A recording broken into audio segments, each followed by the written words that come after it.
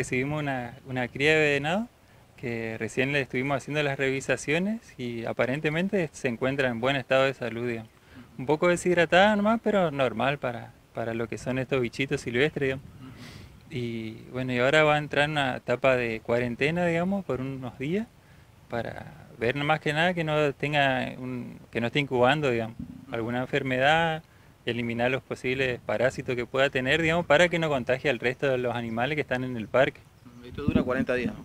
Y un poquito menos suele ser, digamos, más que nada, igual con las crías, digamos, es- tiene una atención muy especializada, digamos.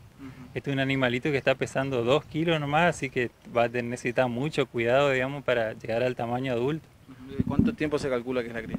Y aproximadamente ya debe tener más de un mes ya porque ya tiene dientes, ya digamos así.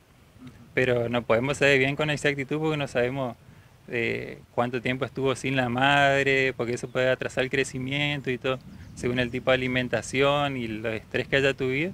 Y, y entonces varía un poco eso. Ahora, doctor, es un proceso normal que se le da a to- todos los animalitos que llegan aquí a, a esta zona, ¿no? Donde se, bueno, se le atiende y, y se, le, se le observa cuál es el inconveniente que puede llegar a tener, ¿no?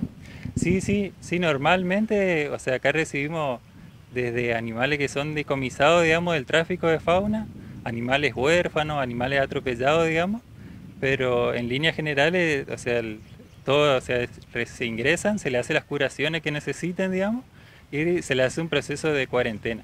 Después de ahí vemos si están en condiciones, lo principal para nosotros es devolverlo al hábitat, digamos.